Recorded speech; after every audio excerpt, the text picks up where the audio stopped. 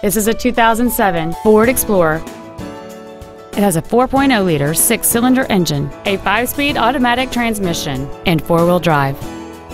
Its top features include a double wishbone independent front suspension, a power moonroof, heated front seats, a low tire pressure indicator, commercial-free satellite radio, and traction control and stability control systems.